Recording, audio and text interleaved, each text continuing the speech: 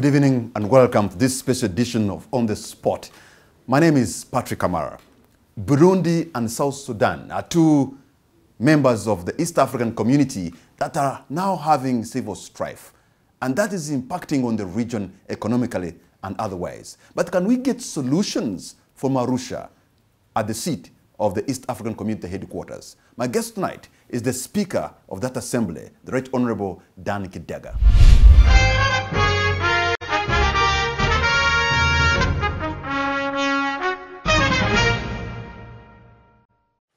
Honorable Dan Kidega, let me first of all congratulate you because this is the first time you've been on the spot having uh, been elected Speaker of the East African Assembly. Thank you so much, Patrick. Good evening, viewers. And, uh, you know, most important, I must also extend my appreciation to, to Ugandans who have afforded me the opportunity, first of all, to serve at that level. And then most specifically, my colleagues who found it befitting to bestow upon me the, the chance to offer the stewardship. And, and I'm very grateful. Uh, But how was it like? Because you come to the leadership as a Speaker of the East African Assembly after tumultuous past. You know, you take ov- over a seat of a, colleague in, in, in a- an assembly that was so divided.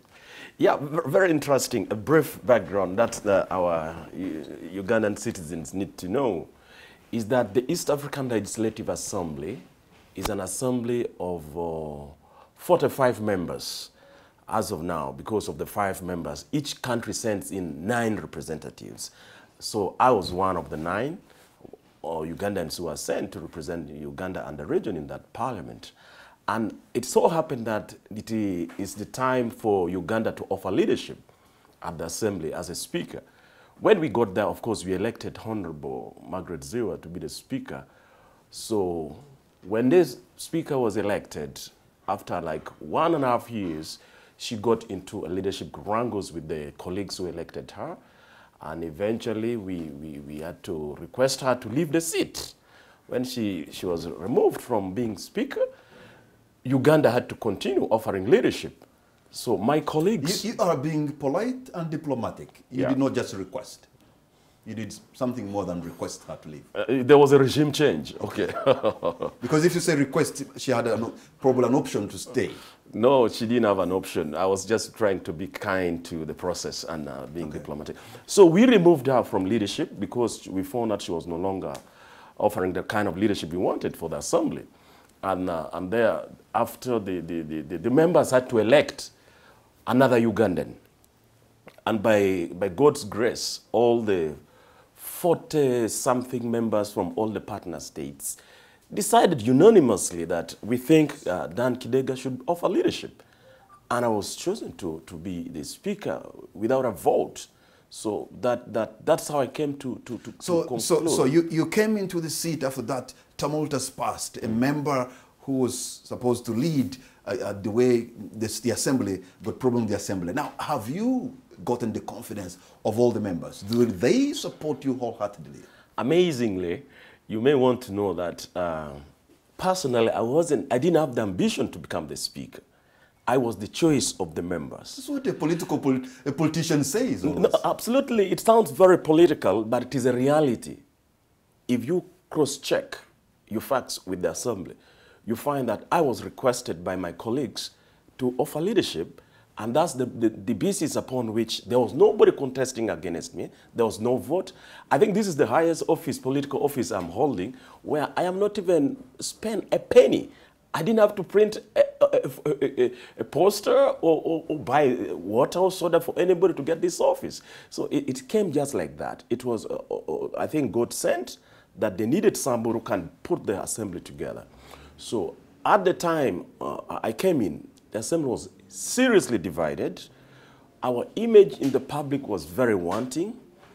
We had a lot of backlog of work to do. In the entire two and a half years, we had passed just two pieces of legislation, two laws. So what is it about the Honorable Kidega, with all respect, who probably is among the youngest, if not the youngest in the assembly? That's right. And everybody decided to say, he is going to be our leader. Is it that maybe you, you're malleable, they can move you the way they want? Oh, not at all. I'm not malleable at all. I'm very firm. I am, I'm, I'm, I'm, I'm, I'm, I'm personally, it, it will sound like I'm self-exalting, but the, the reality of the fact is I've learned a few things in life. I may look young, but I've been in the corridor of leadership for some time. You may want to know that this is almost my 15th year as a legislator doing parliamentary work. So why did you have ambition in the first place? I didn't have ambition for this because I was supporting another candidate, and I'm so principled in my political practice. When I offer you my words, I don't backtrack on that. I was supporting Honorable Dora to be the Speaker of the East African Legislative Assembly. Even at the, at the point of being taken as the Speaker, I was still supporting Honorable Dora to replace Honorable Zziwa. So I was picked on the basis of the strength of my character, the way I work with my colleagues. I am a, um, I'm, I'm a consensus builder in my leadership style. And I, I, I always stand firm on facts and truth. And all these years together with my colleagues, you, you, your value system stands out. You, your character, what you stand for, your kind of nature of leadership comes out, and the judgment becomes so easy. So those people have been observing me for a while. So they saw the qualities of leadership in me. One of the former presidents in our country, Godfrey Binaisa, he was president for a few days, uh, Yeah. for a few months, and he said, if you can only be head of state for, for, for seven days, you'll have finished. Your position is almost up there. Describe to us the feeling of the seat as a speaker for the East African. Yeah, very importantly, you see, the most important thing, I always find uh, a lot of people make a lot of mistakes. You see, when you are in a public office, that is the people's office. If you try to uh, uh, exude so much powers upon the people you're serving, you most time find yourself into trouble. So myself, I decided to remain myself. That's the first thing I decided to do. Remain the Dan Kidega that everybody knows. Same kind of friends I used to have, same kind of everything, but maintain the decorum of the office and know the purpose for which that organization has been put in place. And you offer stewardship. I believe in the servant leadership concept. I believe that when you take such offices of high caliber, you are in service, and therefore you must put the interest of the people you are leading as a priority, and yourself least. If you try to service or irrigate your personal interest and too much assertion in terms of authority without being consultative, you get problem. And on the basis of that, this office is smooth, light, and easy to drive. easy to drive, but the region is not easy. In Burundi, we have civil strife. In South Sudan, instability. And, and that is impacting on economic performance of the region. Are there any solutions that can come from Arusha? Yeah, thank you. So I think I need to, to first drop this uh, uh, uh, from uh, the basics. You know, one of the reasons why the founding fathers of the African Union, or, or the Kwame Nkrumah, the Haile Selassie, the Nyerere Mwalimu Nyerere, the, uh, the, the, the, the, the, the founding father of the African unity, thought of putting African together is to solve the problem of the African people. Many people have been shouting or complaining that Burundi is on fire. Now we are admitting South Sudan. Are we forming a community of conflict or what exactly are we doing? I want to make this categorically clear, Patrick, to our viewers that the purpose for which we are integrating as a region is to solve the problem of the African people, the problem of the East African people. And one of the problem of the East African people is the governance issues, the issues of the conflict which is raging now. The purpose for which the community is in place is to make sure we solve our problem in leadership and economic issues. Now, Burundi, when they went through the elections, problem came up. All the whole world shied away from attending to the problem. When the President Nkurunziza decided to run for elections, people looped sanctions, all kind of statements, did not even go to observe the elections. But we as East Africans had a duty to be there. So we went to, to, to Burundi and observed the elections. That An election that everybody else in the international community thought was an illegality. absolutely. So why did you go? We went for fundamental reasons. When you have your child in your home, in your backyard, who is not exactly as smart as others, you don't neglect that child. So Burundi is the is not a smarter kid in the East African community. As of now, they're is that what the East African community speaker is saying? I, I am saying they are not exactly doing the right thing in terms of the realm of governance. There are people dying there. There's conflict raging. business are interrupted. You know? So they're not smart. This is a fact. Is there anything you can do to reign over this, the people whom you seem to have suggested are not smart? Yes, there's a lot of things, uh, a lot of work going on. Uh, within the framework of the East African community, the summit, the heads of state met and came up with a framework of how to deal with this problem. And what they have opted for is to make sure there must be dialogue. The conflicting parties must sit together and talk to each other and come up with viable solutions rooted in the constitution and the laws of Burundi. Do we, as the partner states in Uganda, in Rwanda, have even the moral authority to dictate how things should move or even suggest for Bujumbura? Yet we know we have changed our constitution repeatedly and Kigali is about to do the same, removing the, the, the term limit as well. You see, the constitution is, is, is, is a tool which we use for governance. Are you having problem in Uganda? Are you having problem in Rwanda in, in, the, in, the, in, in, the, in, in like unrest, political unrest? I don't think so. You see, the most important thing for me is that the people must accept, must know, must choose how they want to be governed. And that's the spirit of the constitution. And that should be it for all partner states, Uganda, Kenya, Tanzania, Rwanda, and Burundi. If the Burundian people would like to be governed under a system that has term limits, so must it be. If Uganda has chosen to be governed under a set of rules that do not put term, uh, term limits, let it be. But the most fundamental thing is the people must choose how they want to be governed. And I think that's what happened in Uganda. You, not one person has decided to change the constitution. Uganda, through their parliament, changed the constitution. Rwanda, through their parliament and through a kind of uh, uh, engagement with the population, decided to change their constitution. That is how people have chosen to be governed. For us at the East African level, people's authority is fundamental. The way people have chosen to be governed, they must be governed and peacefully and so. So what solutions do you suggest for South Sudan as the East African Legislative Assembly? Oh, pardon, before I go to South Sudan, let me first ex expound a few things on Burundi. You see, Burundi is a full member of the community, and, uh, uh, and I told you there's dialogue being headed by President Museveni, facilitated by His Excellency, the former President of the United Republic of Tanzania, President Mkapa. This dialogue is ongoing. What is very important for us to know is that the, the stakeholders are so numerous, so bringing them together on a round table takes a bit of time, is to, to, to let the people know that it is not true that East Africa is doing absolutely nothing. From the parliament point of view, we actually had a public hearing on the case of Burundi.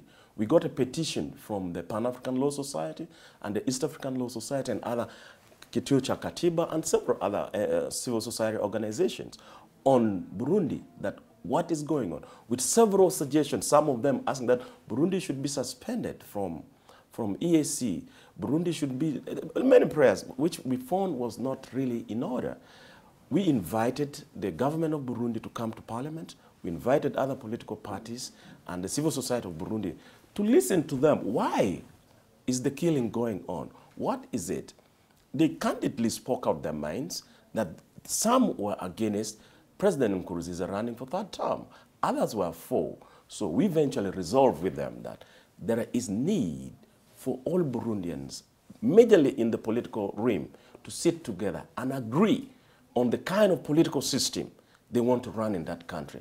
Whether they want to have a political system where there's term limits, then there, it must be clear that there are two-term systems. And once a person has been given leadership, he should be given the time to lead. Okay. And this is the kind of discussions or conversation going on now. on the issue of South Sudan, here is a country yeah. which is uh, maybe about to become a partner state, a fully mm. member of the mm. East African community. Mm. And yet, people who are trading with South Sudan, especially Ugandan businessmen, yes, have been demanding South Sudan to pay them over $40 million, which they have agreed between the government of South Sudan and the business community and the government of Uganda for years. The South Sudan, Juba has failed even to make good on the promise they made, just to pay for the goods and services delivered to them, to the government of South Sudan. How do you deal with a state that even be part of the East African community, yet it cannot handle a few things that bind us together as a community? First of all, the viewers may want, want to know that uh, South Sudan was admitted politically in March by the summit.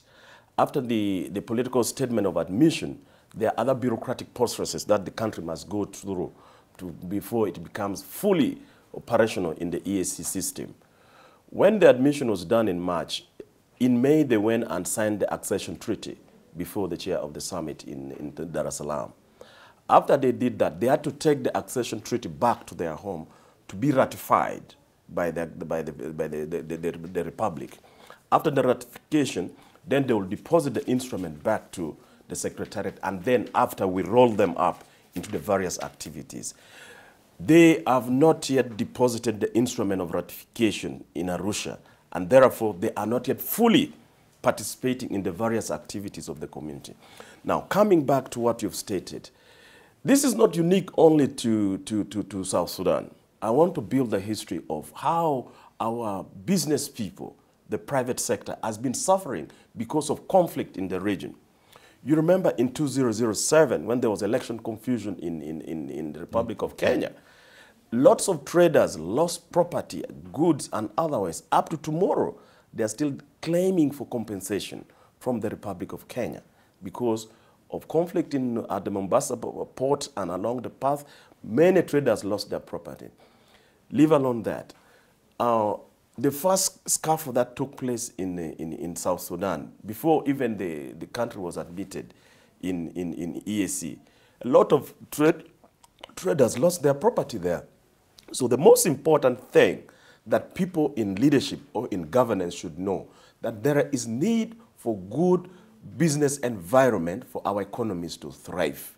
So if a state has committed itself to pay, and it's a fully member of the East African community like Kenya, for the 2007 disruptions, mm. then why not?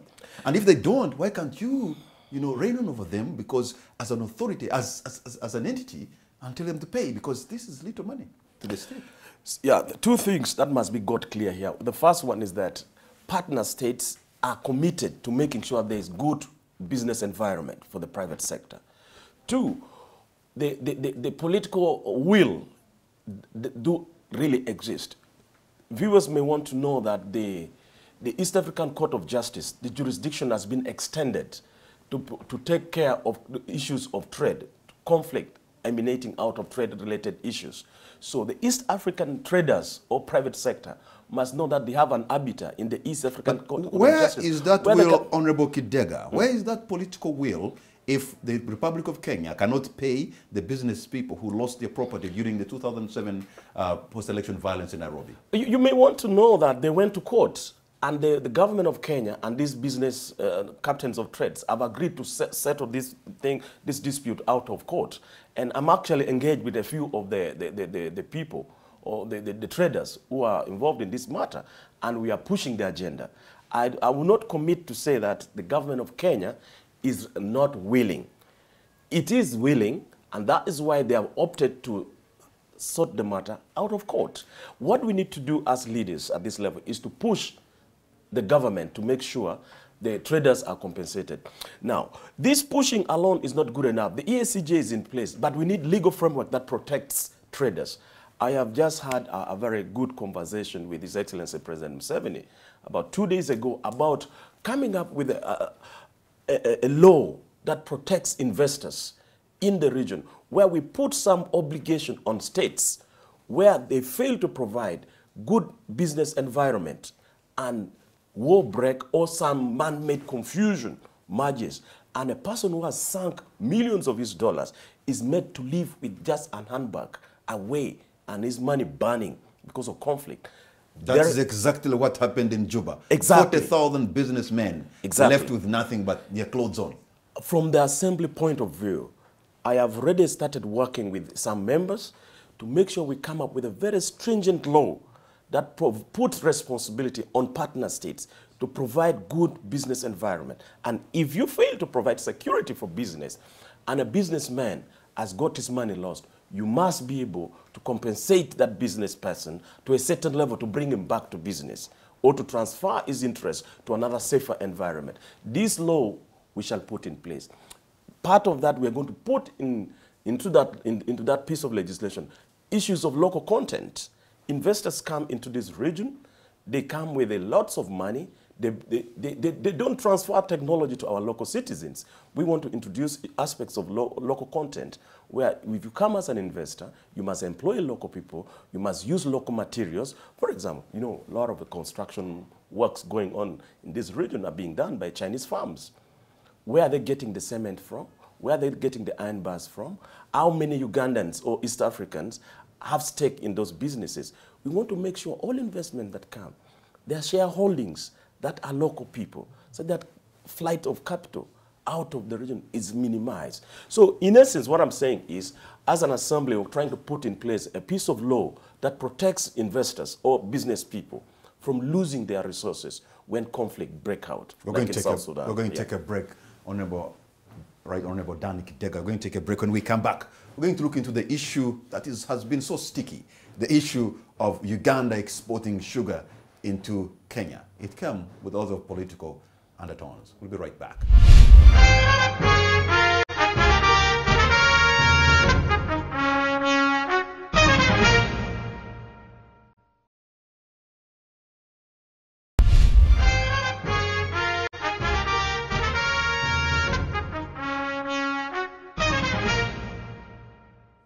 Welcome back. You're still watching On the Spot. My name is Patrick Kamara, and my guest tonight is the Speaker of the East African Legislative Assembly, the Right Honorable Dan Kidega.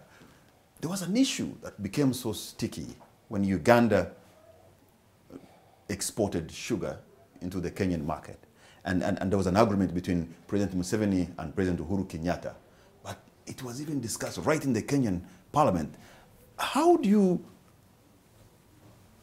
how does how, how does that even come up when two East African states find it hard to trade amongst themselves? Thank you. You see, Patrick, and, and the viewers may wish to know that, you know, integration or bringing sovereign states together to form an entity is a complex project. Regional integration is not something that is very light because it involves loss of sovereignty, loss of control, and many other things to come together to improve the efficiency of our trading. When Uganda, uh, Kenya, Tanzania, and uh, uh, uh, uh, Uganda, Kenya, and, and, and United Republic of Tanzania was negotiating the, the, the custom union protocol. Goods were listed as the annex of the protocol. The goods were categorized. There are those which were meant to move freely in the custom territory. There are those who are graded as, uh, uh, uh, as sensitive goods, and then there are those called essential goods.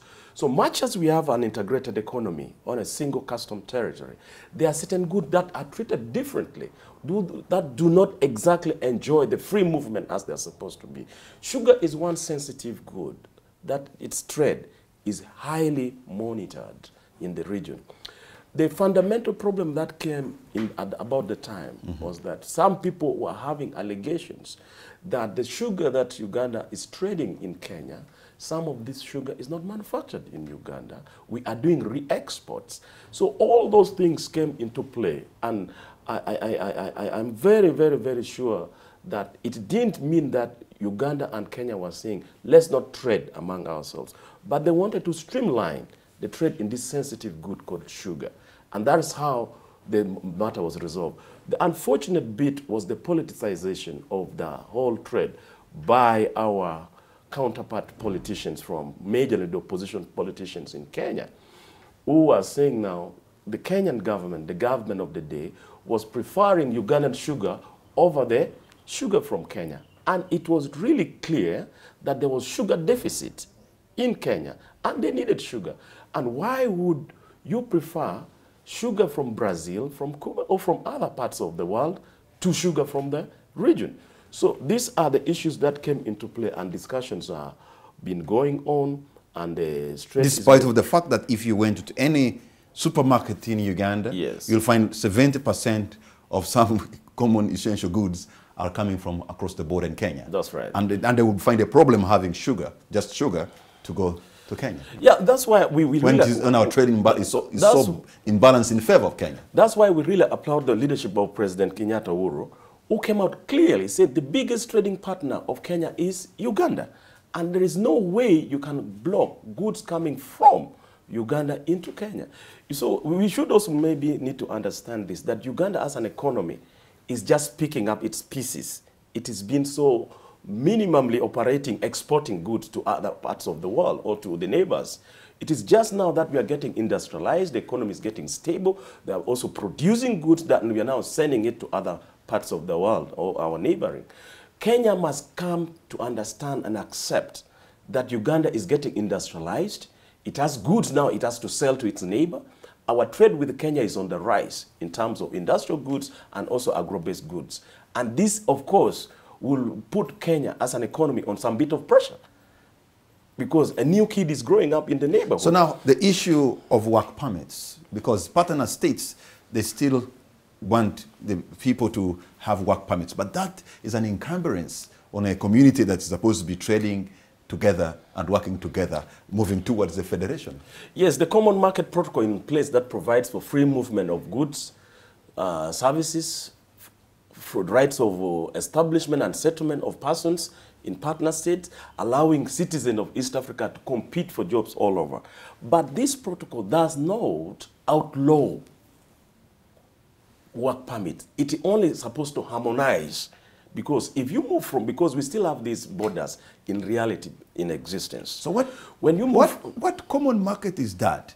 When you still have to go and uh, apply for a work permit and pay for it and all that kind of stuff, and yet you're supposed to be in a single common market? There's a lot which come into play. We have question of security, question of regulation of uh, workers' benefits, and several other things. So when a worker moves from one country to another, he must be treated like any other citizen, but there must be underlying regulations that govern me as Dan Kidega when I go to work in Kenya. Yes, and when I go to work in Tanzania or one of Burundi, this set of regulations that govern me must be harmonized and made simple to allow free movement of the workers in the region and also put in place provisions that allowed migration of workers' benefits in the region freely to happen. These are some of the underpinning legislations that we are trying to come with to make sure the common market protocol is implemented. The work permit which is being charged in the region is not yet harmonized. I can give you, for example, in Tanzania, you pay almost uh, $2,000 for a person to settle and work in Tanzania. These are the kind of things we are fighting with the leadership of the day, saying that please, one, harmonize the work permit process of acquire acquisition. Two, make it easily accessible. Three, and affordable to citizens to reflect the, the spirit of integration and the spirit of the common market protocol. So these are the things we're working on. It will take time, but we will reach there. Political federation by now should have taken place in the earlier plans. So should have been 2013 would be in a political federation. But we seem to have slowed down. And I think even the next 10 years, I'm going to ask you whether you think in the next 10 years it's going to be possible for the three or five countries, or now six countries, to politically federate. Because there are those who are scared that, that maybe there could be some political dominance from maybe Uganda or some countries like Burundi can bring in insecurity and all that. Do you see that federation happen in the next 10 years? I am very optimistic that it will happen. When is the question? You see, one thing that we need to do as political leaders is to first develop trust for each other. There is still strong suspicion among the leaders in the region. And that's not to say that there's no progress. There has been discussion going on. We have more or less now agreed on the kind of political federation. Suspicion among leaders in the region. You, you mean to say when the summit of leaders, the heads of state meet, even themselves they suspect each other for something they, they're suspicious. Let, let, let, me qualify. each other. Yes, let me qualify the statement when I say suspicion. You see, when we started integrating, you, when you're in meetings, this meeting cascades from technical people to, uh, to ministers, then to the, eventually at the summit level. You would see in the meetings people holding their files with a lot of care and fear still exists. Real fear do exist because of the background where we're coming from. The previous community collapsed because of political reasons. And there are, this is what still exists among leadership. And this is being torn down as we relate and gain trust of each other and deal with the sensitive issues quietly. And this is the kind of suspicion I was talking about. There's a background to that because we're coming from a failed community that happened in the 1970s. So And, and, and, and, and that's why we are moving a little slowly. Now, what progress is in place for political federation? One, we have more or less agreed now on what kind of political federation we want. We are taking on with the confederation first, then eventually move into a total uh, political federation. I have just had meetings with the, my, our leaders in the region, and I have voiced the same concern you've just raised, that we feel as parliament that the political discussions is getting quietened. They need to be re, re, reawakened. The issue of political federation must be brought back on table for discussion. Most of the problems that we face today in the region is the absence of political unity and therefore lack of political framework to deal with challenges. If we were federated as a, as a region, Burundi may not be like where it but, is but, today. But, but why that silence? Why that political abeyance? Yet we know at one point, I think even now, this is a deputy secretary general in charge of uh, fast tracking of the political federation. Yeah, what yeah. do they do? Is actually not the DSG political affairs is not necessary for fast tracking, but to carefully construct the process of political federation. And that's where I'm saying now. The summit has directed the Council of Ministers already to come up with, to start the discussion on the constitution of East Africa. And this is ongoing. I, I share your sentiment, and it is the sentiment of Parliament as well, that the political discussion must be reignited. I have just had consultation with President Museveni, and uh, I, my, my, my very honest opinion was that I think the parliament must restart this conversation back and take it to the population, get it out of the boardroom, and let the population start talking about political federation. What kind of political arrangements do they feel is good for them? And, and for me, as the Speaker of the Assembly, in the next round of sensitization that my, the members of EALA are going to go to population, the issue of political federation is going to be central. We But must take this when, conversation when, to Honorable. Kidega, when you talk about political federation and this East African thing, and you sit at the Secretariat in Arusha, and, and, and all these can make meaning to you. Yeah. But do you think you, the, you make meaning to the ordinary person in Bagamoyo, somebody in Ruhengeri, somebody in, in, in, in, in, in, in Kenya, Absolutely. You know, Patrick, you know, the most important... in, in Nyahururu, for example? Exactly. In, in my village in Gulu, in Atiako, somewhere like that. You know, the most important thing, if we effectively put in place and implement the cascading uh, sta- stages of this integration, if the custom union is fully functional, if the common market is fully working, people are moving freely, goods are moving freely, services are moving freely, and there's right of establishment and settlement all over, people will demand for a unitary governance, for a unitary control, for one system that manages their movements and their business together. This lack of political federation is a sign that the other stages that are supposed to be implemented are not yet working well. I can assure you, if we have a functional common market and a functional single custom territory and a common monetary system, com- converged economies, the people will demand for a common uh, uh, administration. There have been fears from uh, other uh, states, partner states, maybe with the smaller economies, including Uganda and Burundi, that you open the market like you can, and, and, and probably they can be swallowed up by the big brothers like Kenya, which could be maybe three or four times bigger uh, than some economies in, in the region. Uh, in fact, there was, I'm told, even a research that found that Tanzanians were skeptical about their land issues, that their, their land could be taken away, uh, could be encroached on by Kenyans and Ugandans.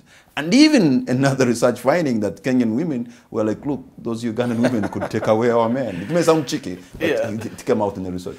That's true. The, the, the, the, the, the, committee the, the, of eminent person that went to do some study on the fast tracking and finding out the views of the citizen about political federation, those issues came up, which is good. When things come up, then you deal with them. It is true that in the, in a, in a, in a, in a, when they are converging as economies, uniting to become one, there are gains and losses there. Small economies may also lose certain things. Even the big one may lose certain things, okay? And, and, and that's why there are remedies put in place to address such kind of losses that a country may face. Of course, there are issues of xenophobic thinking or mentality that can come at the level of common market protocol, where now citizens move into another uh, uh, economy or another country and take up jobs there, take up business opportunities, the local wananchi may rise up. So there must be provisions how such uh, uh, losses are addressed. in the treaty for the establishment of the, the fundamental principle is that equitable distribution of benefits of integration must be put in place. So all those uh, uh, challenges will always be addressed because the foundation of how to be addressed are in the treaty for the establishment of the East African Community. But it is important to know that, that the net welfare gained by citizen is for all. Yes, in the, in the short run, there may uh, uh, look as if some countries will be losing. But the net efficiency of the economy, the welfare gain, will be beneficial to the entire community. So people should not shy away or, or, on the basic fear that there may be loss of jobs, loss of land. For example, the question of land in Tanzania. In the Common Market Protocol, land has been left out as some matter which is regulated by the municipal law, by the national law. It's not regulated at the EAC level, which I personally have a problem with because land is a factor of production. And if we are going into economic integration, the factor of production should move freely also as well. Because you're not going to integrate in the air, you're going to integrate on land. Okay? So for me, uh, the, the, thing I want to tell uh, the viewers out there is that economic integration in the short run can look painful, but in the long run, anybody, everybody is a winner. Because the, the economies will become more efficient, the welfare gained by the citizen is going to be spread all over, and the, the, the, the, the small, small difficulties that we face today through movement cross borders will be wiped out and things will be moving faster. I want to draw your attention to something that happened in, in northern Tanzania a couple of I think a year ago, when the Tanzanian government decided to expel um, herdsmen who had yeah. stayed uh, just at the northern border of Tanzania, Rwandan and Ugandan herdsmen. In a, really, what, what happened does not reflect the spirit of the East African unity. That is now the vote of confidence for the integration.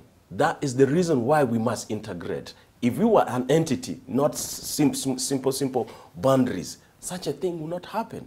That is the more reason why we must move faster and abolish these small, small boundaries that we have and let our people move freely. There were issues of security among the cattle people, the, the, the people were herding their cows.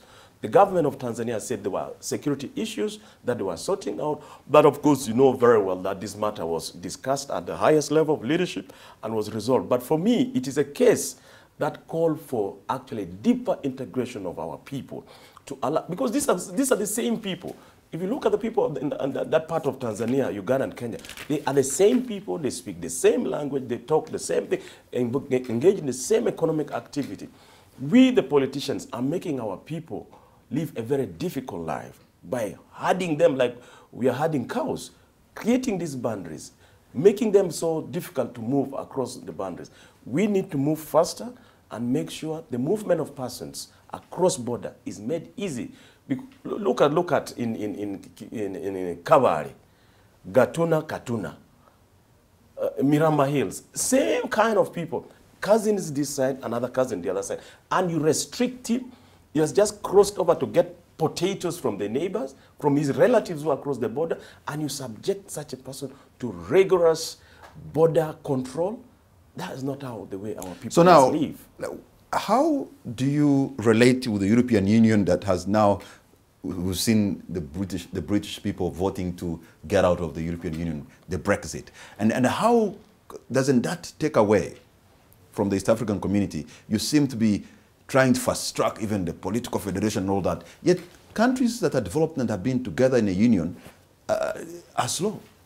By the way, Patrick, you may also want to know that at one point in time, uh, the, the, the, European Union came to learn about integration from East Africa uh, in our first, in, in our first uh, uh, community.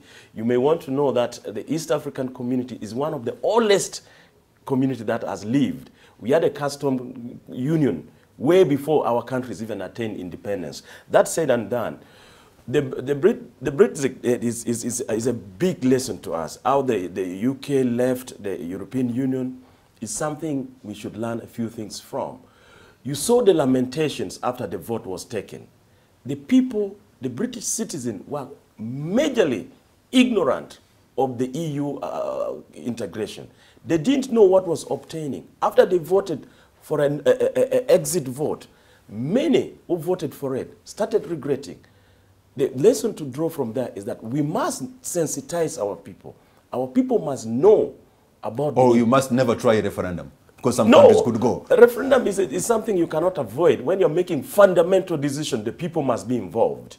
So, but the most important thing, awareness creation is very important. That's one, one big lesson that we must learn from the, the, the, the, the exit of the United Kingdom from the EU. The other thing that we should know is that our treaty for the establishment of the community is well thought out in terms of membership.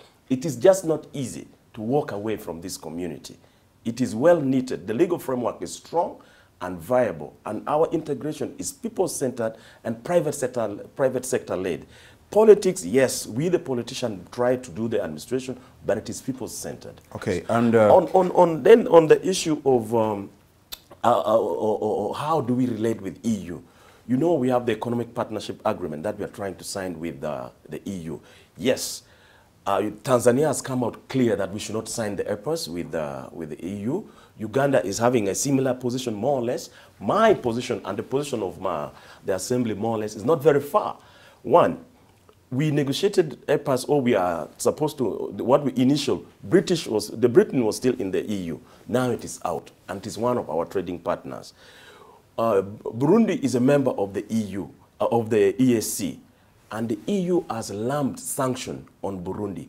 They are all the reasons for us to delay signing of EPAS right now. So that is a, a trading framework that we're trying to put in place that need to be carefully looked at. There are a number of technical issues within the agreements that need to be revisited, thought out clearly to make sure our economies do not suffer at the expense of the European Union econo- interest. so the term of the assembly is coming to an end in June next year, Yep. I suppose. Yep. And uh, I'm sure now the political heat is coming up for people who want to replace uh, you or even to retain their positions at the East African Secretariat or Parliament in Arusha. Uh, How is it that how is that going? First of all, you know, it, it, it is, we are, it, by 5th of June, we must be swearing in a new parliament, the fourth assembly. And uh, we would have concluded our tour of duties. Uh, honestly speaking, for me and many of my colleagues, we are very grateful to Uganda, Ugandans who have given us the chance to serve at the regional level. And uh, it is important for viewers to know that um, the East African Legislative Assembly has term limits. You can only serve two terms.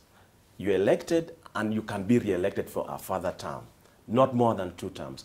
So most of us Ugandans who are in that assembly do not have chance of going back to the fourth assembly. Six of us, actually, all of us NRM, cannot go back. So there is going to be a whole new lot of Ugandans to be elected by the parliament of Uganda to replace us in Arusha. And, uh, and, and, and, and it is also important to know that uh, the elections of member of EALA will take place before June because June is the swearing in. And therefore election may take place in March or April. I've already been receiving a number of people who are declaring interest to go and serve at that region. The Parliament of Uganda will put in place the, the, the, the election guidelines and uh, put in the, in the Gazette declaration of time when that election will take place, and we will elect our people to go and uh, represent Uganda in the. I'm told the number with interest, with ambition to represent us in Arusha is quite big. Uh, it's in hundreds yeah, you see, the- for the- only nine slots. yes, it, it is a vote of confidence to us who are serving today. They understand. It could also be agreed, sir. Eh, eh, that's from your perspective, yes. Uh, the, the, the fact that we have really made people aware about the integration agenda and taken the parliament to the people, people are now more aware about the EALA and the EAC than at the time when we went in. And that's why there's now lots of interest. Over 100 people have declared interest to go and run for nine slots of the of, of, of, of representation. In Uh, and who are these? Could these be, like, has always been, uh, with all respect, uh, political failures in some cases? At their home, yeah. Some people fail in their constituencies. Yeah, absolutely. And, uh, You see, failing to, to win an election doesn't mean you're a political failure. You are, you, it might be your, your, your, your ambition has been delayed by voters not to go into that kind of office. Yes, there are those who lost seats in their local constituencies who have declared interest to go to EALA. I wouldn't use the terminology of calling them political failures. No. There are people who have lost elections, but they are not failure per se, or people who have failed politically. They have, you've known how voters conduct themselves in this country. Thank you very much. The Right Honorable Dan Kidega, a man with a rare sense of humility, who is the Speaker of the East African Legislative Assembly. Having been on our show here, we are so grateful. Thank you. Good night and God bless Uganda. Thank you so much, Patrick. Thank you so much for Thank you. hosting me. Thank you, sir. Thank you so much.